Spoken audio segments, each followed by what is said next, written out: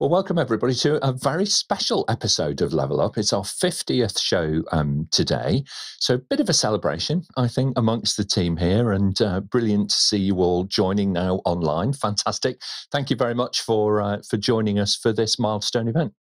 As usual, it's 60 minutes of live Q&A where your questions and votes drive the show. And when we thought up this format originally, you know, there's a lot of skepticism from people around, you know, would that actually work? But, you know, um, it does mean that everybody remains authentic and we're able to answer the questions that you raise and also the questions that our panelists raise on your behalf as well. So it's very much a community driven approach to celebrate uh, this milestone, we've got some great giveaways for you. So stay tuned and we'll let you know how you can join in with all of that. Um, do use the Slido link in the chat. We've got some colleagues on social media, both on LinkedIn and on YouTube, who are going to be encouraging you to introduce yourself, say hi, tell us where you're from in the world, and so on.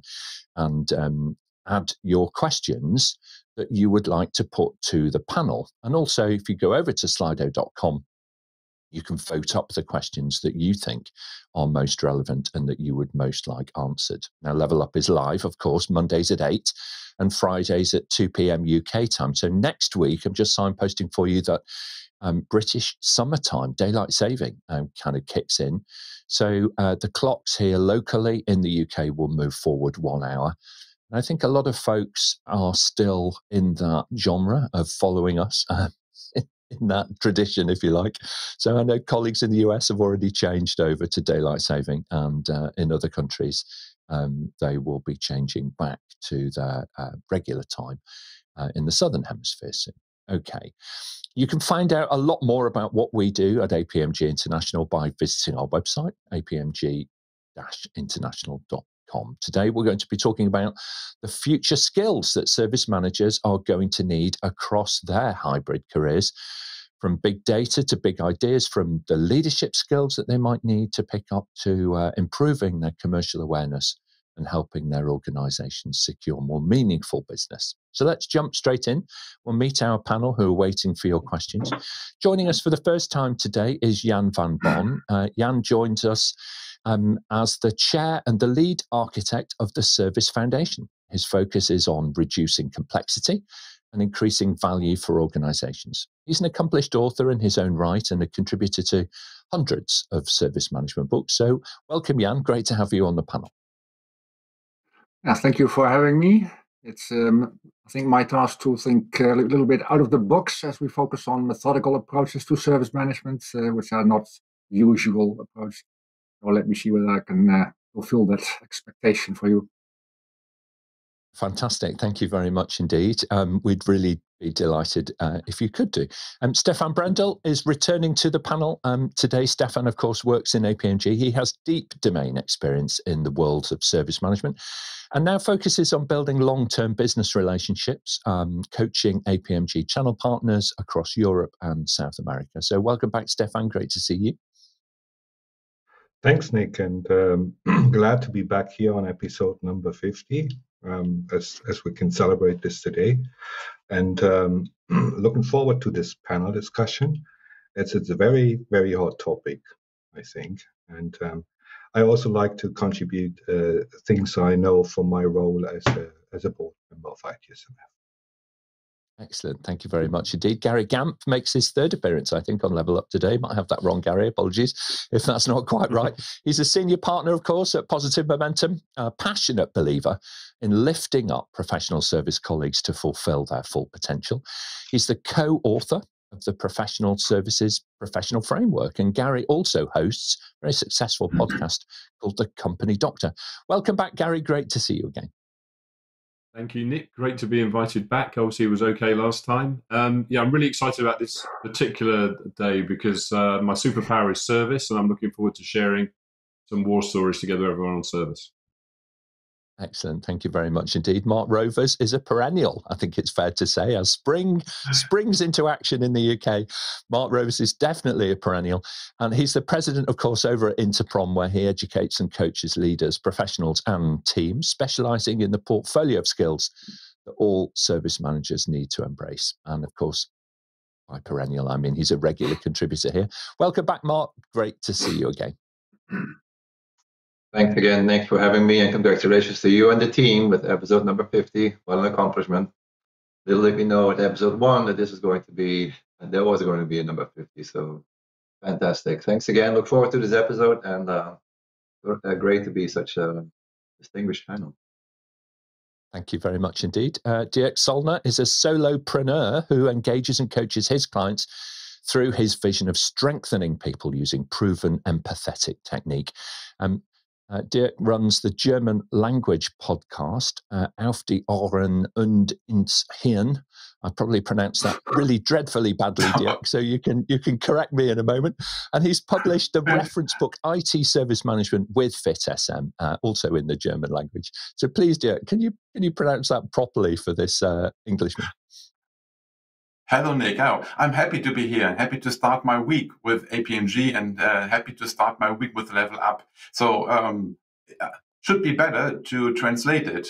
It means to your ears and right into your brain. So, um, oh. it's a oh. German um, podcast, but it means right through your ears into your brain. So, um, I'm I'm working as a, a um, you said it. I'm working as a um, uh, uh, as an independent self-employed trainer, and I'm hope to to contribute with some agile thoughts, with uh, Scrum, and um, with, with DevOps. With DevOps, and so I've got um, I'm engaged in uh, IT in IT service management since 2007, and later on I put on Scrum 2013 and DevOps in 2017. So nice to meet you all guys here. Okay, thank you very much, Dierk. Um, really appreciate that, and uh, I love that idea. You know, we listen to things, and it gets right into our mindset and starts to, you know, change the way in which we think about the world. So, fantastic! Thank you very much indeed. We've got a very strong panel for that today. So, if you're watching online, um, don't be shy. Introduce yourselves in the chat. Tell us whereabouts you're tuning in from, and um, get your questions into the panel. Our question master for today is Suchitra Suchitra Jacob. She is joining us from Bangalore in India. So, uh, welcome back, Suchitra, and may we have our first question, please? Hi, everyone. The first question is from Henk. How important is service management in an organization with more and more services being outsourced to cloud providers or external providers? Okay, so the world of outsourcing and the importance of service management. Stephan, start us off and then we'll hear from Jan. Yeah, I think this is uh, this is an interesting observation that uh, service management. Um, if, if you look at the the technical operations in in incident, problem, and change, a lot of that is actually carried out by service providers who are not no longer part of the organization. Um, but I think um, in order to manage those service providers, in order to um, to define the contracts, the benefits, maybe even the commissions that are going to be paid, it is important that service managers or, or the, the idea of service management still lives in an organization to know how to control these people and control these service providers. That's my 50 cent on it. Thank you very much indeed. Uh, Jan and then Mart. It might be worthwhile to look at the question behind this question because I think it presumes that service management would be less important if you outsource, which, in my perspective, is complete nonsense. Because service management is the only thing you do. Organizations nowadays are 100% service providers. So service management is core business for the entire economy, the whole society. Why would outsourcing ever influence the importance of service management at all? Yeah, indeed, it's um, it's an interesting, you know, kind of angle, you know, to the question. So I agree with that, Dierk, um, uh, Jan. Rather, it's uh, it's kind of looking at it in a very different way. Mart, your thoughts, please. Service management uh, for those organizations that are pretty mature, have a well-established service management practice, typically have an easier job of outsourcing since um, it's easier for them to align services and when you say alignment of services, you say alignment of processes. Um, for those that are a little bit mature in it, need to do in um, just uh, sourcing and the way they would like to see their own um, strength. Thank you very much. Yeah, keep it to themselves, give it away to others. Yeah, indeed. Thank you. Thank you, Mart. Uh, Gary, your thoughts, please. Yeah, I don't want to disagree with my panelists, but I, I think it, it does make a difference because if uh, services are being outsourced or moving to the cloud, then the service manager's is a broker. I mean, most of their time is spent collaborating with other parts of the organization. So therefore, they probably need to up their game because if if some of the service aspect is going outside, it needs to be managed collaboratively. Really good point, um, because you know, to a certain extent, if if you're working inside one organization, um, sometimes you give gifted authority, aren't you? You know, senior people are gifted authority through the line management of others or the management of teams and so on and so on and so on. When you're working with third parties, it changes to the relationship to one more of working together and building bridges and building influence where perhaps you don't have that authority. Um, Jan, what are your thoughts on that? Uh, well, you, you can outsource anything you want. You can outsource your responsibility for delivering certain technology to or whatever but you cannot outsource your accountability. So, from the customer perspective, which is, I think, the only way to look at it in a mature society, the only thing you do is deliver the services. It doesn't matter for the customer how you deliver them. You are accountable for delivering the services that are agreed. Whether you outsource it, you do it yourself, or you, you pull it from the sky. For the customer, it's not interesting how you do it. You are accountable, and accountability simply cannot be outsourced. I think that's certainly true. Certainly in our business, you know, where we work with a whole variety of different technology providers and service providers. Not everybody is directly employed by APMG, and so we're constantly spending time, you know, working with them, you know, to figure out how can we tune this particular service provision to make it the very best that it can be, and you know how do you recover from situations where something sometimes despite everybody's best efforts you know it didn't go quite so well as you might have expected. So really interesting and a fantastic question. So thank you very much indeed hank for raising that one with us. It's really got us uh, kind of thinking and uh, getting getting us going on episode 50 so thank you. Let's move on. Um, Suchitra if we can please we'll take the next question. Next question is from our panelist, Jan. What is the difference between a service manager, a business relationship manager, and a supply manager? Oh, okay. Now I'm kind of thinking of those little wooden dolls that all fit inside each other, Jan. So I'm going to come to you later on, if I may, first of all. Um, panel, what are your thoughts about the nuance here and the differences between um, these different roles? Uh, I mean, I guess for modern professionals, they're, they're starting to embrace all of them. But um, Stephan, what are your thoughts? Well, I'm afraid this would be a very long answer. Um, it, if you really want to distinguish, but maybe there's one.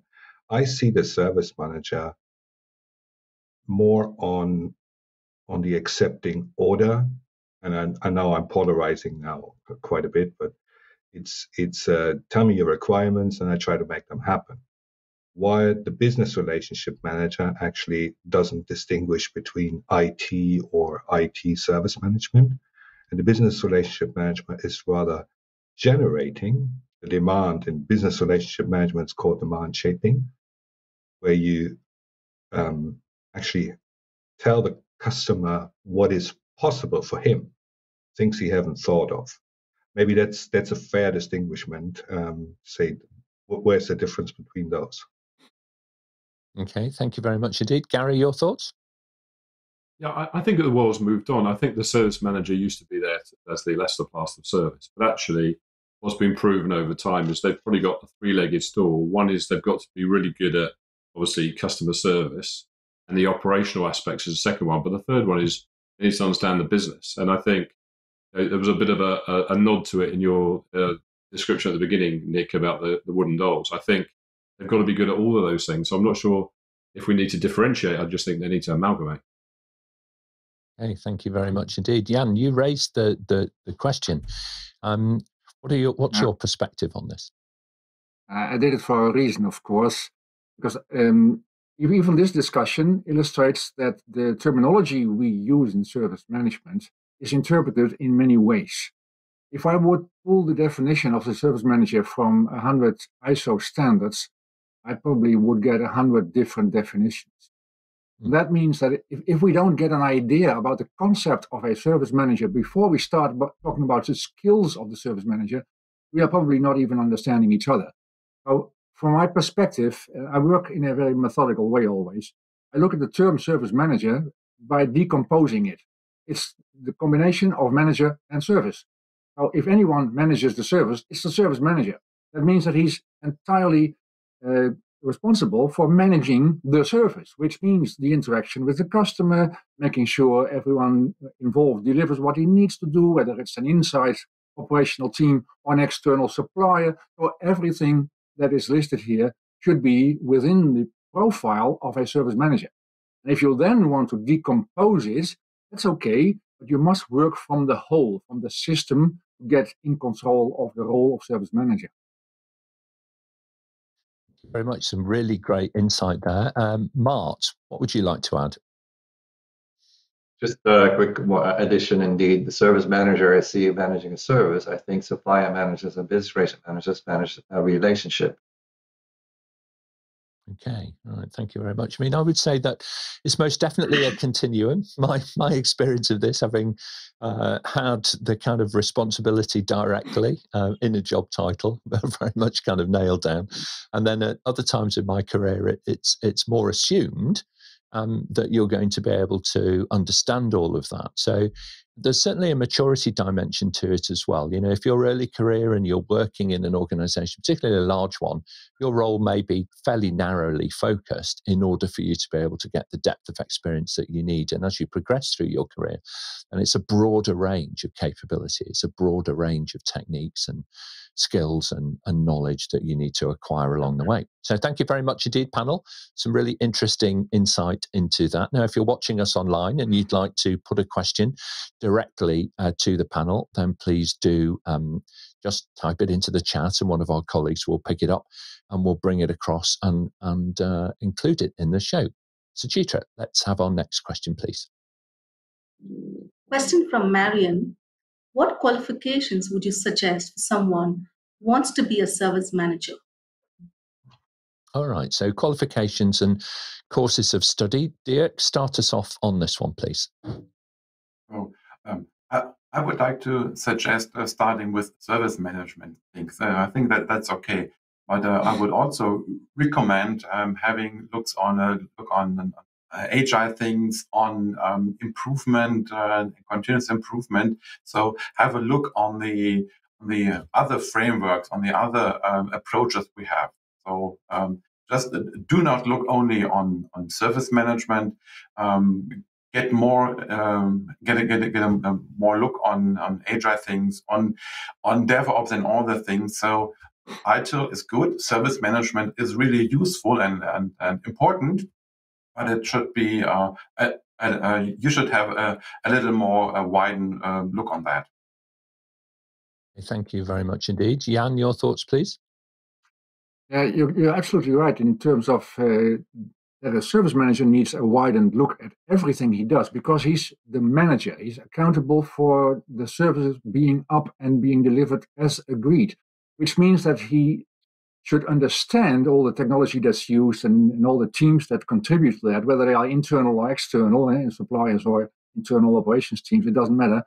But first of all, the service managers should understand the whole system of service delivery because he's in charge of the service, which means that he should understand the system. And that is something that is lacking in, in all education programs on public education, but also in most of the education and the training uh, offerings in the in the market. What I would suggest is that someone first studies the systematic way of how to manage a service at all, and then focus on the technology and the, the organizational structure and everything in terms of relationship management that comes next to it. But it must be based on an understanding of how any organization would deliver any system, any service at all. Thank you very much indeed. Stephan and then Gary. I think the, the, the fundamental um, thing that every service manager needs to know is like what Jan said. It's it's, it's all the um, the principles, incident, problem, all that. You have to understand how a service organization works even before you start talking to customers about how to improve a service. You, so you have to have your building block. uh, where you stand on. Um, I'm I'm personally not no longer convinced that ITIL will provide that because ITIL used to provide that. It does no longer. It is more a holistic, um, um, one size fits all approach, as we can see. But if it, if it comes down to those um, elements that are really needed um, and the basic principles, then there is lots around. Um, um, probably FitSM is more the public source, but ITIL is more commercialized. The SURVUZ Foundation uh, that Jan is talking about is is probably the best one from if you look at um, at a holistic view on service management and as such, not just IT, but as such, yeah. It comes down to IT service management. You need to have these principles provided by FitSM because that's 80% of that you can you can actually use immediately. Or with ITIL, it's about 20% from from from what you learn you can use. So it's it's the typical Pareto. Okay, thank you very much indeed. Um, Gary, what, what what angle would you give us on this? Yeah, I mean, obviously, I agree with my colleagues on the fund, fundamentals, but actually, you know, we need to be more customer centric. I think, and it, to be customer centric, customers have a a requirement. They've got an outcome that they're looking for. So we're providing service to match that outcome. So we need to understand where they're coming from, what they actually want, first of all, and then secondly, we need to focus on the customer experience. So what are the things we're doing to improve the customer experience? And finally, a lot of making things happen in an imperfect world is is relationships because although there's process and ways of getting things done, a lot of it is based on you know relationships and cajoling people to get things to happen. Um, a bit biased. The PS professional certification has a massive take up in the service management community because it complements the skills in ITIL and, and some of the other qualifications because it focuses on you know, on customer uh, the customer experience and the personal effectiveness of getting stuff done. So I think I'd add that to the, the list that's already described.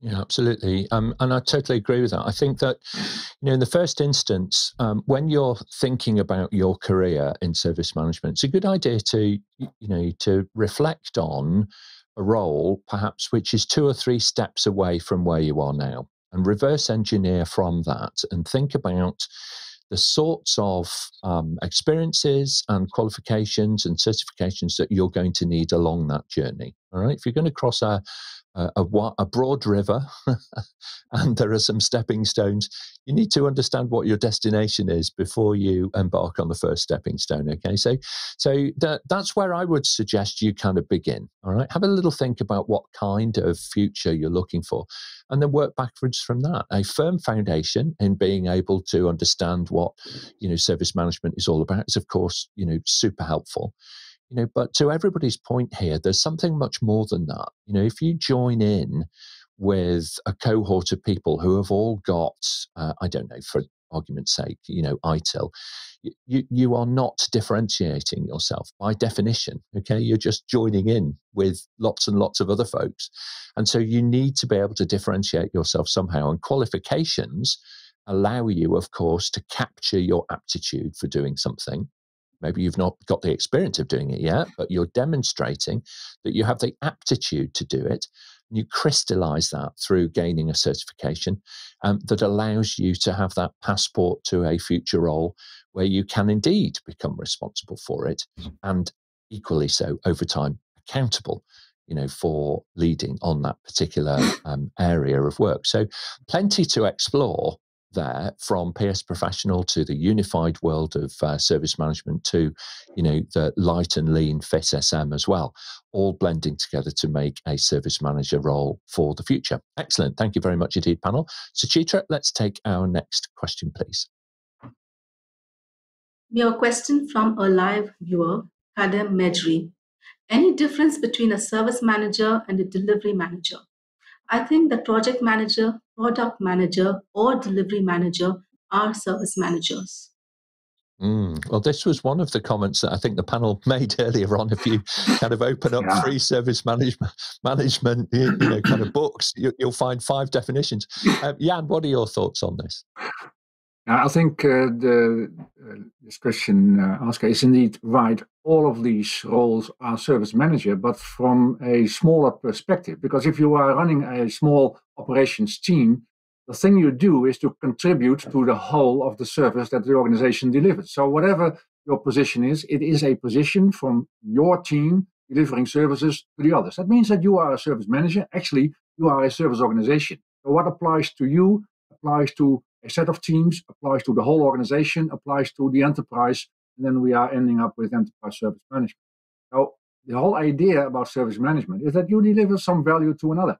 Now, all of these definitely can be observed as being service managers, but uh, this obviously is a, a matter of perspective. Are we talking about the enterprise service or about the team service? Thank you very much indeed, Jan. Uh, Dierk?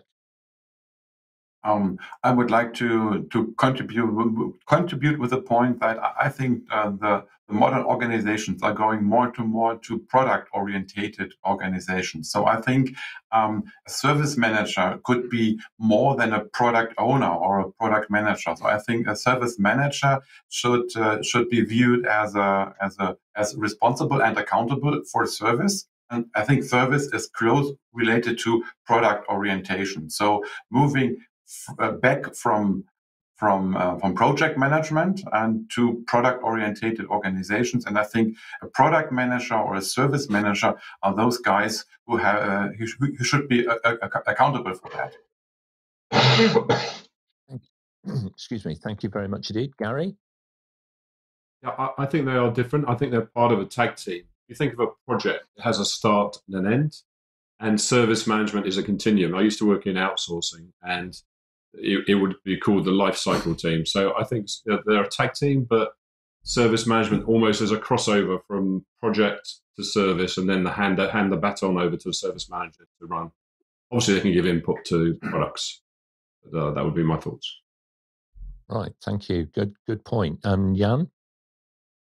Uh, I'd like to emphasize that the, the product of a service organization is the service. And a project may be a technical way of delivering a change to a service, but it's also part of service.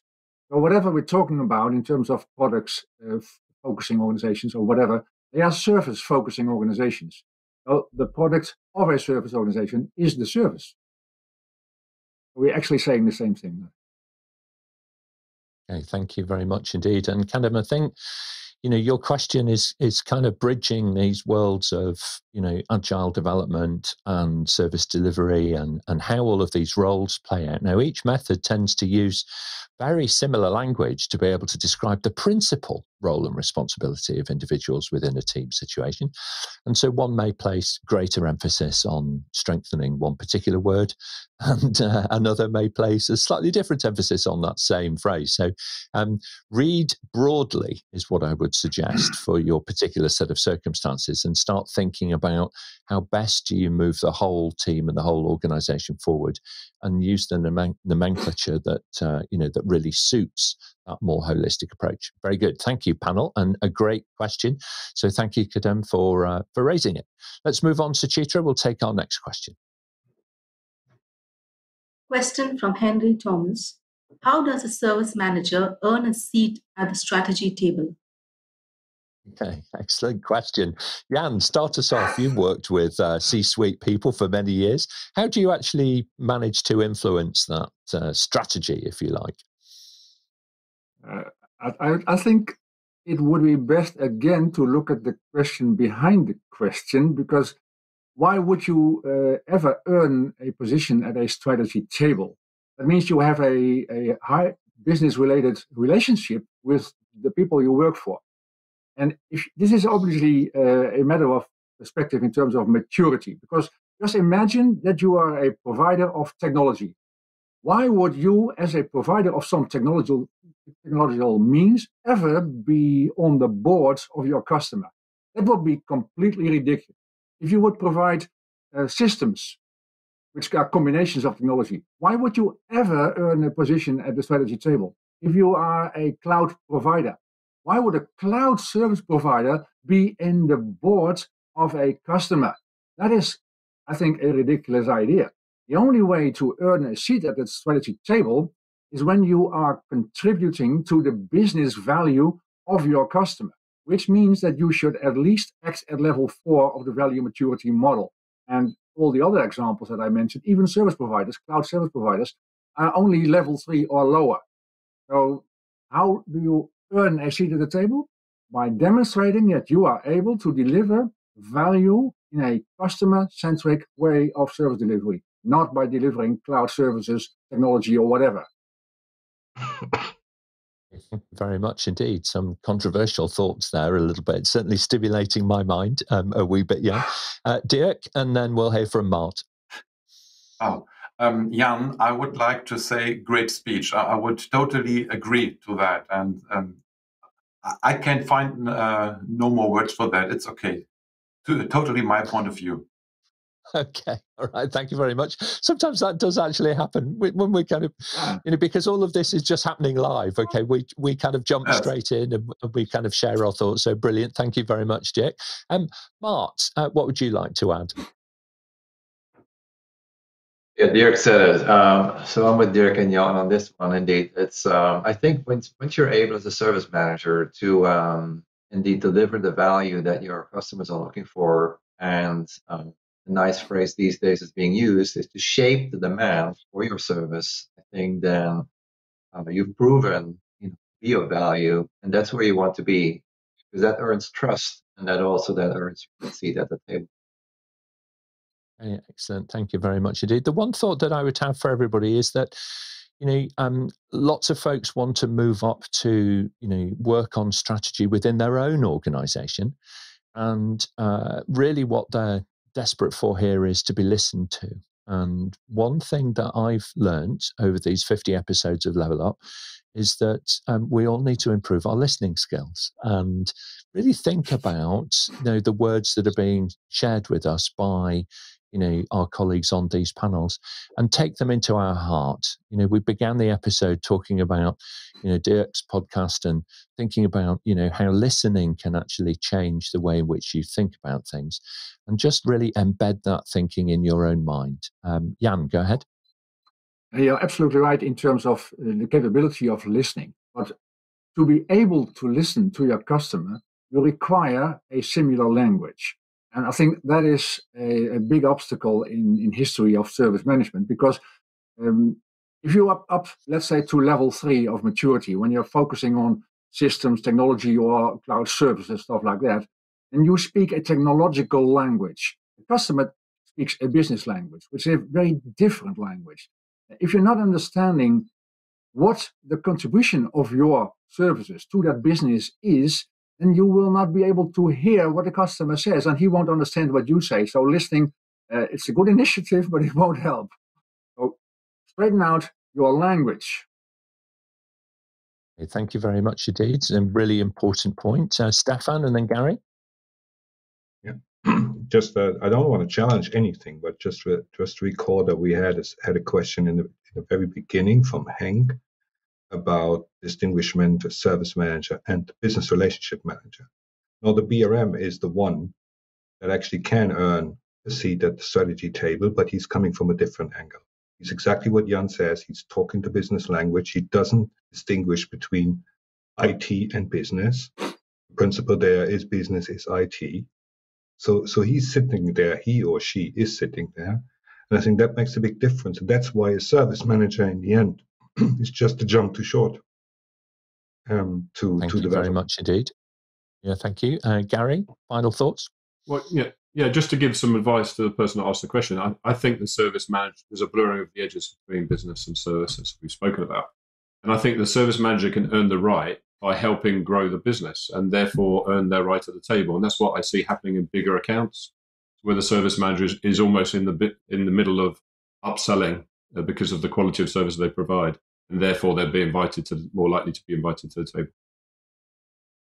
All right, thank you very much indeed, and. Um, you know that's the way in which you know you kind of climb the tree to get the better view to see over the horizon and uh, start to influence you know your organization's strategy and so on keep on adding value the more value that you add and the more common sense that you speak generally, the more people will listen to you because it all makes complete sense. All right, very good. Now, look, if you're thinking about you want to join in with, in with us uh, with some of our giveaways, we do have some more information on that coming up in a little while that we're going to fill you in on. It's very straightforward, very easy. And we're going to be giving away things like some free examination vouchers so that you can take some of the credentials that the panel has been talking about so far. All right, so uh, some great prizes for you to be able to join in with. Just um, stay with us and we'll get to those in a little while. So, Chitra, let's move on. We'll take our next question, please. The next question is from Matthew in Singapore. What is the role of a service manager in the DevOps world? All right, Dierk, start us off, please. So um, I'm working on, on DevOps projects as a consultant, as an HR coach, and, and I spend a lot of time thinking about uh, what is DevOps, even for my podcast. So I think DevOps should be more than doing agile. Um, I think that service manager is more relevant to the um, to that point than product owners. Or in other words, I would like to say a good product owner coming from agile thinking, from agile uh, methods, should learn could learn from a service manager. So I think a service manager has uh, a more holistic, uh, uh, a more overview on that. Thank you very much indeed. And Jan?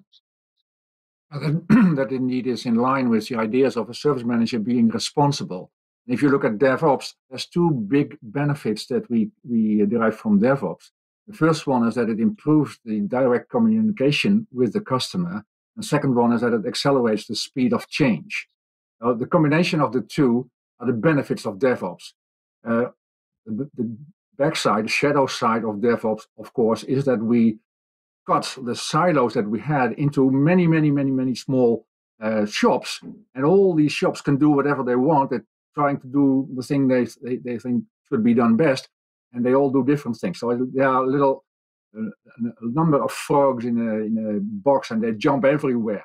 Uh, how do you get in control from one silo compared to 25 frogs in that box and jumping everywhere? So we need to standardize whatever we do with DevOps in terms of this value created with DevOps.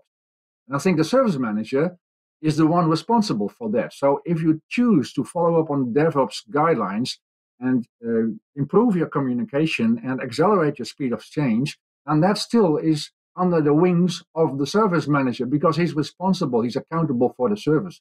So DevOps is interesting. It has potential improvement. It has a, a backside as well. And the service manager always should be the one delivering the results to the customer and being in charge. Yeah, there's certainly that golden thread there, isn't there, of reducing the barriers between different groups, impl- improving the communication. And of course, communication is a flow and it's a conversation and it works uh, kind of both ways. So, very good. Thank you, panel. Uh, um, we're going to move on. If you're watching online and you'd like to ask a question, and I can see many of you are watching online now, so welcome uh, to Level Up. Um, but please do put your question in the chat and then we'll put it in front of the panel straight away. Suchitra, next question, please. Question from Jeff. Could you recommend any service management communities I can join to build my knowledge and network? Okay, so which communities would we recommend? Stephan, start us off, please. Not a not a big surprise, but um, the the largest community still is the IT Service Management Forum, and they started when ITIL actually uh, became famous. And as far as I know, um, at least Jan and I have some some history in the IT service management forum. They have changed scope. They're going wider. It's no longer a, a promoting just a qualification. Um, it is it's a good starting point because this this is where people are sitting from different angles and in particular from end user organization because that's what you need.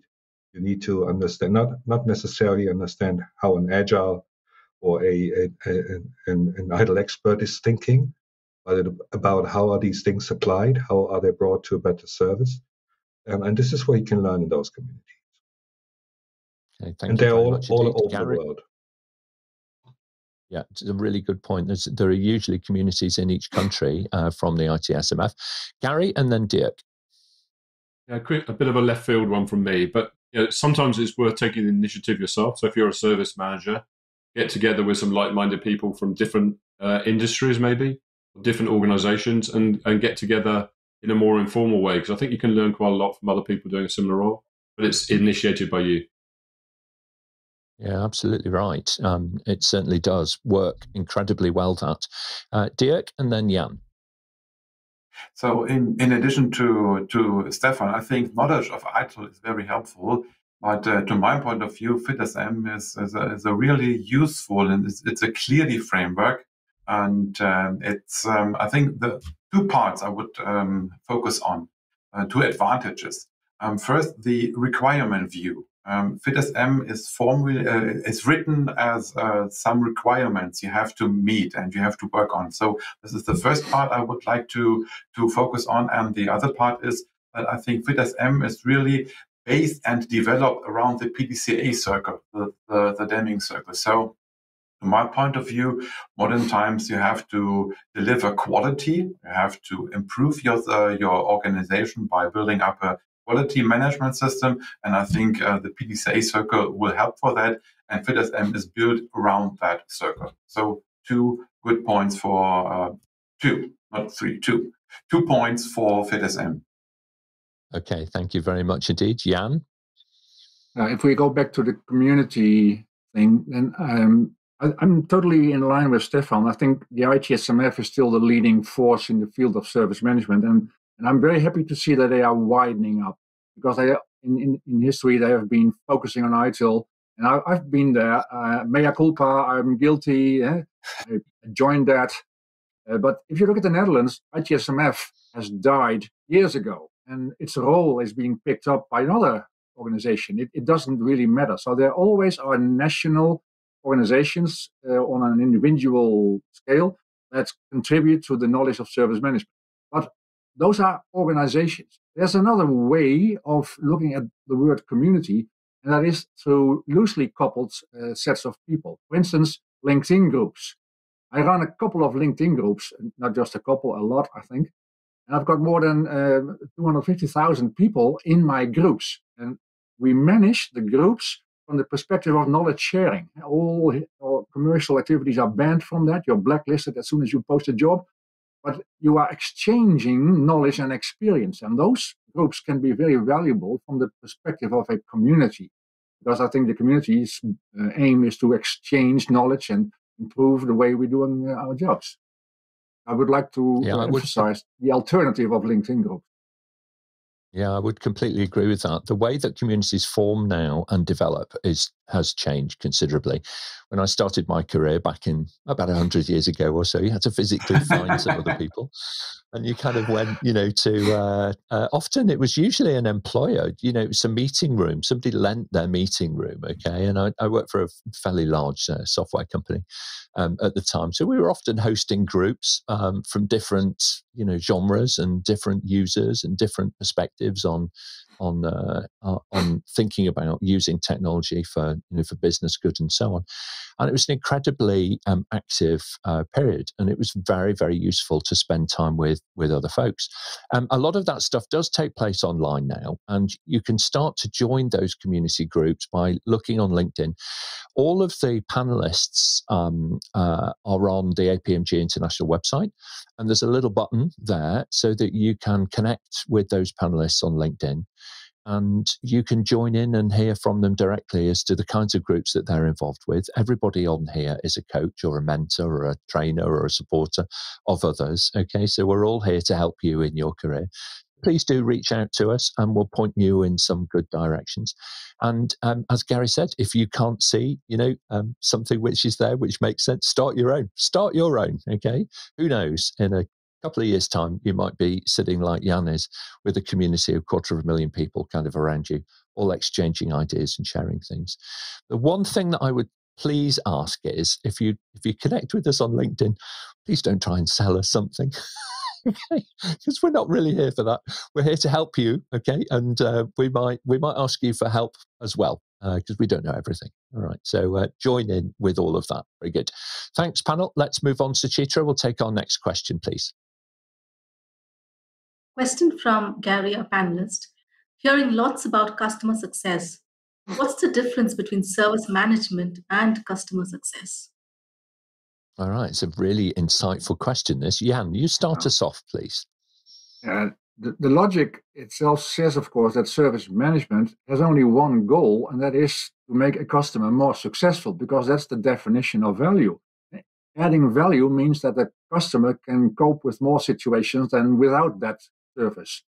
So, service management is about enabling a customer to do better. A customer success is actually the goal of service management, so that they are complementary to each other. There's no difference; they are complementary. They're totally uh, different in nature. Yeah, yeah, yeah. Thank you very much indeed. Um, Gary, when you posed the question, what was your thinking? Yeah, so in in the software business, customer success as a function is developing, and it's a it's an equivalent to service management, um, and, and and it's an infinite loop. So you talked before about you know it's the continuum, and what what they're finding. So if you look in the software industry, the, the customer success manager is reducing churn, improving the customer experience, and increasing revenue in a, in a loop. So you know, it, I, I think it's one to look out for in the future for service managers. Um, you know, see what's going on in customer success. It's becoming an industry on its own, and I think at one point, I'm seeing a lot of companies, my customer base, are trying to become customer success in, instead of service management, or as well as. Yeah, it's a, it's a really good point, isn't it? You know, we've had kind of emerging roles around user experience, you know, customer um, management, customer relationship management, and so on, and now customer success. So it's a natural evolution, I think, you know, for those words to be starting to be used to describe, you know, a, a capability in an organization as mm. well as, um, you know, an outcome, if you like. So that makes complete sense to me. Thank you very much um, indeed. Um, Suchitra, I think we've got time for one more question before we um, get into the uh, registration for things like giveaways and that kind of thing. We have a question from Omar in Sydney. Is artificial intelligence impacting service management? And if so, how? Right. AI, well, well, most certainly, a lot of the service management principles have been put into uh, software now, and um, there's a whole range of algorithms which are being used to augment, if you like, that customer experience and bring you a little closer to solving your own problem in as in as few steps as possible. So that's certainly around. Um, Jan, start us off, then we'll hear from Dierk. Uh, artificial intelligence, of course, uh, will impact service management because it enables the insight of the service manager into what is the result of the service delivered to the customer. So like any other technological improvement that we, uh, any technological development that we run into, it can help to improve service management. But service management at the end of the day is still service management, whatever um, technological means we get. The, the, problem with a lot of people and a lot of organizations in IT is that we totally focus on the technology. We forget the goal of what we are delivering our uh, products, our services for. Our focus should be on the results, business effects of the results, And, uh, and instead, the focus often is on the technology itself, which means that you will never earn yourself that seat on the table. Okay, thank you very much, Dierk. And then Stephan. So, to my point of view, artificial intelligence will impact service management. That's what what uh, Jan said. But I, uh, I would uh, like to to point out that I think it's just one more technology, just one more technology. And as Jan said, you have to to get closer to your customer. And maybe one, one, one additional point, maybe um, you could use artifi- artificial in- intelligence for your own service management. So improve your services, improve your uh, kind of working by using artificial artificial uh, intelligence. But for that, it's uh, just one more um, technology should be integrated into service management. Okay, thank you very much, Stephan. For me, um, the artificial intelligence is uh, just another aspect of automation, and we've seen this in the past with tool providers promising the blue out of the sky um, on on this is this is how you do incident, this is how you do problem, and all those things. And AI is just um, a decision helping tool here. The point is, and I'll come back to Jan and Dierk here, is uh, when you really want to make a difference or sit on the table. It's the interaction between people, and we're missing out on that when we focusing too much on, on artificial intelligence because it's not making decisions. It's just helping us to find maybe even technical solutions. But it is to sit there, to understand that, to actually have being close to a customer means to talk to that customer. Um, that's a relevant point. And AI has um, it's not predominant. It will it will play a role. It will have an impact. Dierk's absolutely right, but it it can't be the the silver bullet. Okay, thank you very much indeed. And I and I think what we're witnessing right now in, in a lot of these early manifestations of uh, computers and algorithms and databases trying to help add value into customers is really they are really the baby steps all right it's not ai at all the vast majority of it that we're seeing and interacting with is pure machine learning.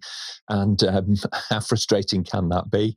Well just try and renew as a customer as a consumer just try and renew your broadband something like that. Try and do something simple like that and see the where the edges are of machine learning right at this moment, and compare it to, to the kind of quality of interaction that you get with another human being.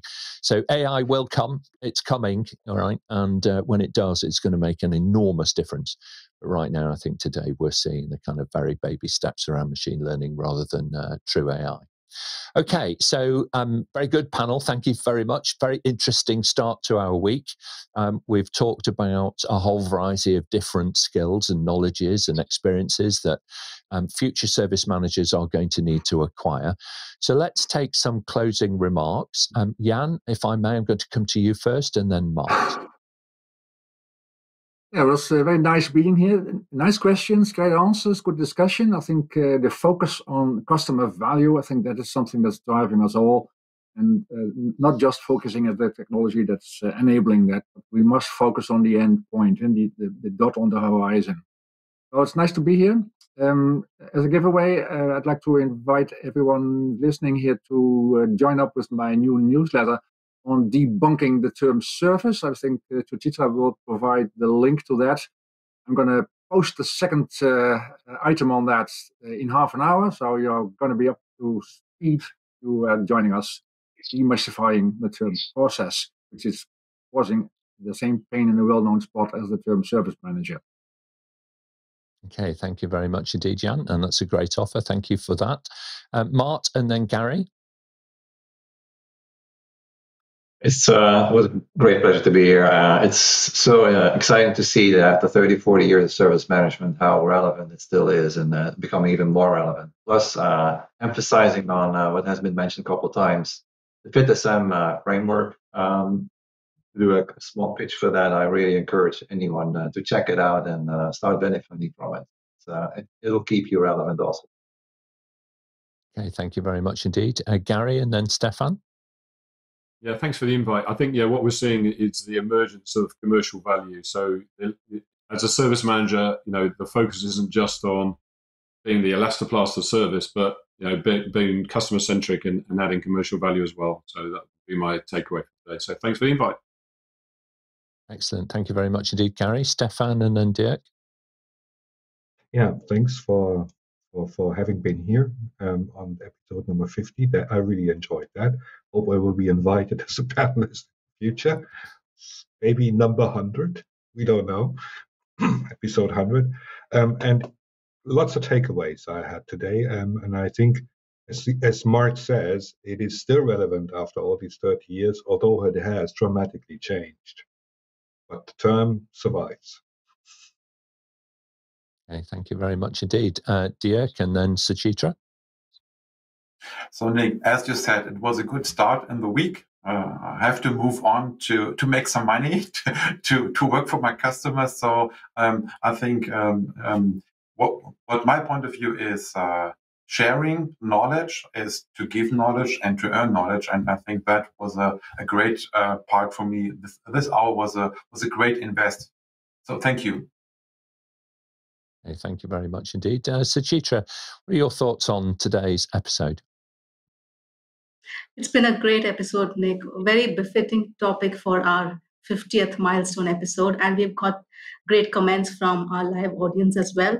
And I loved listening to the panelists. So thank you to everyone. Okay, all right, very good. Well, thank you very much indeed, panel. Um, some great questions, uh, as ever, from our producers online, and also some great answers from all of the panelists as well. So, thank you very much indeed for everybody's contribution. Now, we were talking a bit earlier about celebrating 50 episodes, and with that in mind, we do have some free um, freebies really to be able to give away some books and some examination vouchers and so on. Now, the way for you to be able to access all of that is to register for a newsletter. It's a service management related newsletter, right, from APMG. And we're going to post the link to that newsletter actually in the chat for you. And that's the way in which you become eligible to go into the prize draw. And um, we'll be doing that prize draw actually on episode 52. So uh, next Monday at the same time, both on LinkedIn and on YouTube, we'll be uh, shuffling and randomly selecting people who have registered um, on that newsletter website to be able to uh, receive some of these examination vouchers. And we had several people on the panel actually who APMG worked for in terms of qualifications and so on. So we're going to talk to each of them about making a contribution and um, and joining in uh, that way so that we can get as many people as possible accessing the kinds of future skills you know that you're going to need um, to build your careers okay? Now then um, if you want to do some work in the meantime and i'm sure that you do there's some great opportunities now for you to search for and to view the answers to over 700 questions which are listed on the apmg international website. These represent all of the conversations that we've had um, uh, across the 50 episodes of Level Up and even beyond that into our midday mentors program. And also any of our product specific um, shows that we've done where they are segmented into individual chapters and individual Q&A. All right. So it's a fantastic resource. Um, you can connect with more than 80 um, experts from around the world. And of course, you can also download and listen to the audio versions of the shows on your preferred podcast platform. Now, it's a pretty powerful tool. You can either watch whole episodes and search for whole episodes, kind of as you can see um, on the screen there. There's a huge variety for you to be able to choose from, both for panel events and also one to one deep dive discussions around the Day in the Life series or the Midday Mentor series itself. If you want to look up a particular topic, uh, for example, um, Agile, then just hop, hop over to the episode search function and type in whatever uh, phrase that you want into that search string. Click on the little search icon and it will pull through all of the episodes that represent the answers to those questions. And there are very many of them. So you can see we've got 86 questions there, all about um, agility, whether it be specific qualifications and certifications or whether it be more philosophical, like the meaning of the agile mindset, as an example. All right. So, very good. So, just um, have a look at those resources. They're all on apmginternational.com and have a little think about how you might be able to use those to build them into your own professional development. Now, looking forward, then, um, we're going to be on Friday, we're going to turn our attention to how to become an agile leader. So be sure to tune into that, 2 p.m. UK time on Friday. Subscribe to the show, and of course, we'll send you a personal summary of what's coming up next and how you can join us here on the panel and level up your career with APMG. So thanks very much, um, everybody. We'll see you next time. And yeah, we'll look forward to episode 100 and celebrating that in the future. Thanks very much, everybody. Bye bye now. Bye bye.